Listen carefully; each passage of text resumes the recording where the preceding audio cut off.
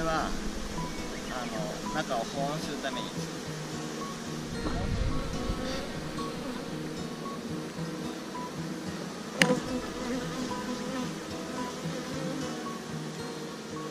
働き蜂は通れるけども女王蜂が通れないだから女王蜂はここから下だけに卵を産んでここの上は蜂蜜が取れるようになるここら辺がハニーででこっちは幼虫子供。子供たちでこの黄色いのは花粉ね。はい。こうしたら蜂蜜が出てきますって、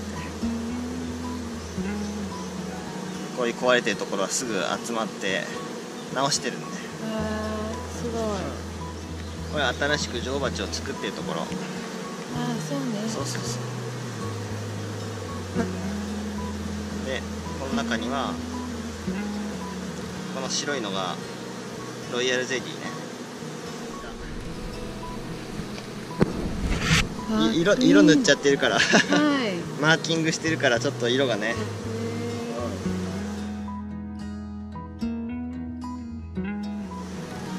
新しい女王蜂が生まれる前はい。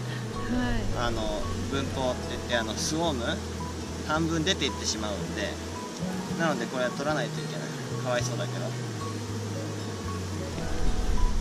働き蜂は全部メスなんですよ。はい。そうですか？そう。で女王蜂もメスでしょ？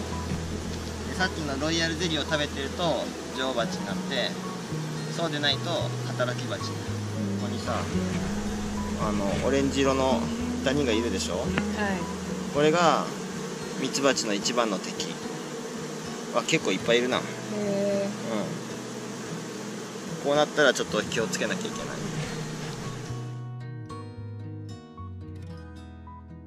人がマネージメントしてる方がオスが少なくて蜂の群れの大きさも大きい。自然の中にはこんなに大きな巣はないね。餌が足りなくなったら与えるし日本だとオオスズメバチっていう大きなスズメバチがいるからそれがミツバチを食べてしまう。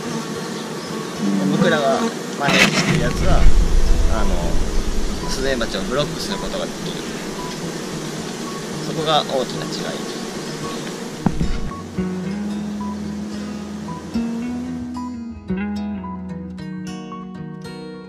えある？1日かかるから。一日？すご一日終いわんないこともあるよ。収穫をしたりとかねだから一週間三回ぐらい行って。そうそうそう。見るのは3月から見てる。11月までえ結構長いね。結構長い。大丈夫。あの花粉の種類が違うからあのアレルギーは杉とかヒノキでしょ風に飛ぶ花粉だからこれは大丈夫初めてね。驚いたのはこうやって女王蜂を取ったりとかオス蜂を取ったりとか。うん。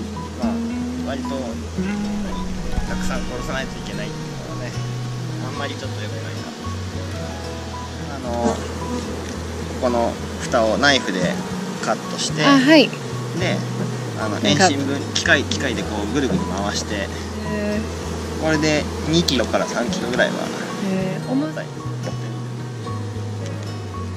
お重たい。へえすごい。一番ベースになる薄っぺらいのをセットしてはい。その上にミツバチが全部こう作ります。働き蜂は今の時期だと2ヶ月ぐらい、え？短い。短いね。そう。だから女王蜂が毎日たくさん卵を産んでたくさん新しい蜂が生まれてるクイーンは4年間4年ぐらい。5年ぐらい。だけどやっぱり年を取ってくると卵を産むのが少なくなってくるからへやっぱりもうそこはもう交換新しいクイーンに変えて。え10分ぐらい？大体ね20分ぐらいでやるかないつも。だから全部だったら1日ね。うん一日。すごい。一番好きな時は僕はね新しく生まれた女王蜂が卵を産み始めた時。そしたらこのはこの群れはもう大丈夫。ああよかったって。いいね。やっぱりこうあの季節で咲く花が違うから全部味が違う。い何回とってもそのたその時その時で違う味がする。ほら花によって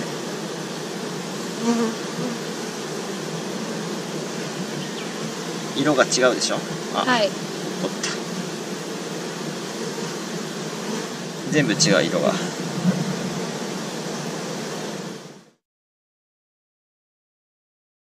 までが。3キロぐらいまで。3キロから。だからやっぱり宮島だけ。だけ。海は渡らないし。そう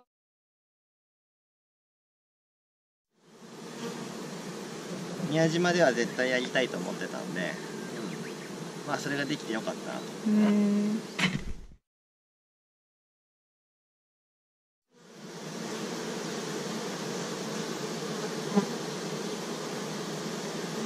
割とおとなしいでしょ。で自分の王様かそうでないか他の王様かをもう全部匂いで見分けるから。うん。ものすごくこういい触覚をしてる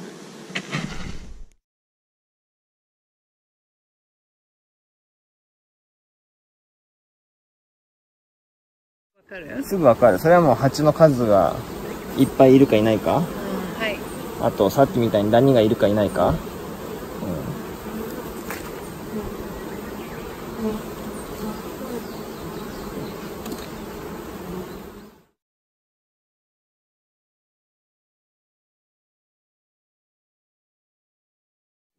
えっ、とスズメバチ日本のオオスズメバチの女王蜂ですでこれはミツバチを取りに捕まえに来てたのを僕がパチッと。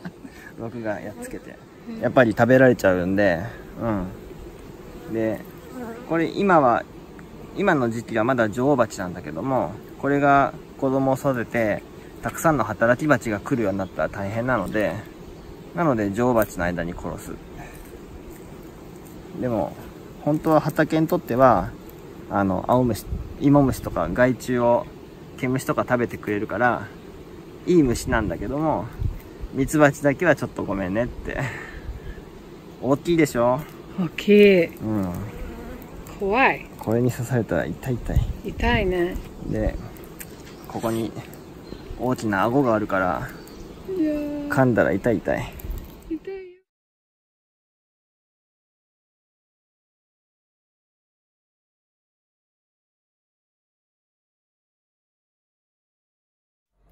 So, some of the key things that I learned from this experience were how much diligence and care is necessary to take care of bees, how they need to be near a clean water source.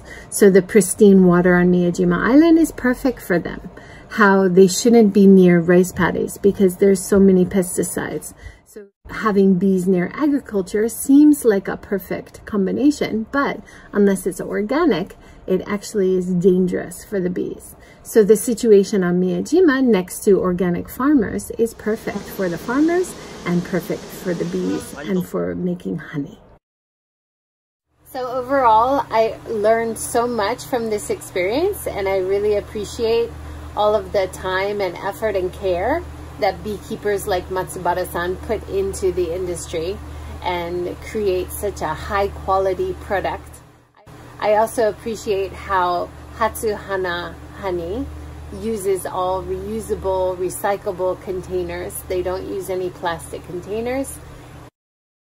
I eat or buy honey again, I will certainly appreciate all of that hard work and effort that goes into quality of raw honey from local sources. Mm.